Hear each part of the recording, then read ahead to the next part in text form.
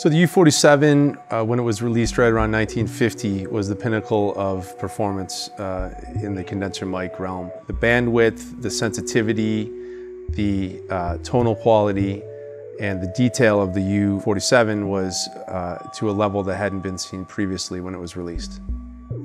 So a lot of people ask what a U47 sounds like, and uh, the U47 is unique in tonal quality for a few reasons. The acoustic structure of the windscreen is integral to the, the sound of the design, um, as is the tube, the VF14, uh, as is the, uh, the transformer, the BV08. And lastly, but having the most influence is the capsule, right? Uh, the early ones had what's called a, an M7, and then it was changed later on to what's called a K47 style capsule. All those elements and you know a bit of luck uh, from the designers of the U47 how they all kind of came together, made for one of the most musical sounding uh, vocal microphones ever made. Um, it has a rich and robust low frequency response, uh, a full low mid, very solid. Uh, it's got an airy response to it in sort of the 10K range. And it's not overly bright. It's actually uh, typically, although they vary, a little bit on the darker side uh, as microphones go, but famous for male vocals. So anywhere where you want to bring out uh, the chest elements of a vocal um, and bring uh, an air and presence to a lower voice or lower uh, source, uh, it's one of the best microphones that you can choose. People think of Frank Sinatra, they think of uh, uh, Ray Charles vocals, all these, these great sort of vocal tones and great voices that were recorded with U47s. Aretha Franklin, for instance, used one quite a bit. Um, but other sources it's great on, you know, almost anything really. It's, it's hard to find a source that, uh, that U47 doesn't sound great on. Usually it's a technical limitation. So there is no pad in the design.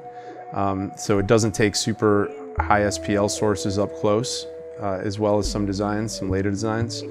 Um, but strings, um, you know, drum overheads in certain cases where maybe somebody's playing a little on the quieter side, horns, it, it, room mics, it's really hard to find a source that the U47 doesn't flatter.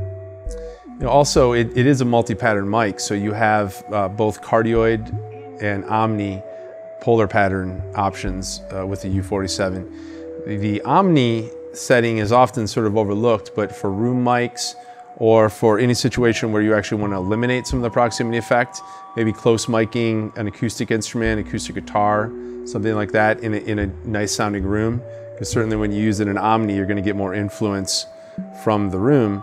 Um, but that's an element to explore with the U47, the Omni response, because it's fantastic as well. So here in front of me, I have a sequential pair of U47s that are uh, from the mid 1950s. This is one of the cleanest pairs that we've ever seen. Uh, just recently came in. Um, very little use. You can see they look almost like brand new. They have the original capsules, VF14M tubes, everything is completely original. Um, power supply you can see almost nowhere on the um, on the leather handle, which oftentimes are sort of falling apart. So Vintage King, you know, we're known as experts uh, with vintage microphones, and we've sold a lot of them over the years. Uh, looking back at our records, we've sold just around 300 U47s given that there's only 6,500 ever made, and who knows exactly how many of those are still alive and sort of around, um, we've certainly touched you know, a large portion of the U-47s currently on Earth. So when we initially get a U-47, um, unfortunately, many of them are not in pristine condition such as this pair. This pair is a, complete anomaly, extremely rare. Most uh, were used heavily in commercial settings over the years, so generally they're not in the best of condition when we first receive them. Um, our job obviously is to ensure that when they leave our doors and, and are resold to one of our, our customers that they're in perfect working condition, both functionally and as, and as close to uh, you know, excellent cosmetic condition as we can get them utilizing uh, uh, vintage parts wherever possible. So Vintage King is the only place on earth, at least that I know of, that you can purchase a vintage microphone that's been vetted as far as a good candidate for restoration, fully restored by an expert uh, mic technician, and then includes a one-year warranty, as all our microphones do. Uh, we have a 30-day return policy, so if the microphone in your setting in your studio or on your voice or your source isn't a good fit, you can return it for a full refund.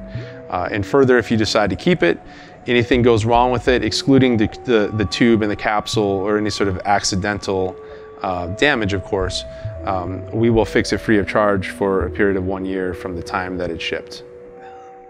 Many of our clients are searching for vintage microphones, and oftentimes uh, the premium examples of microphones will sell before they actually hit our website because there's such a high amount of demand.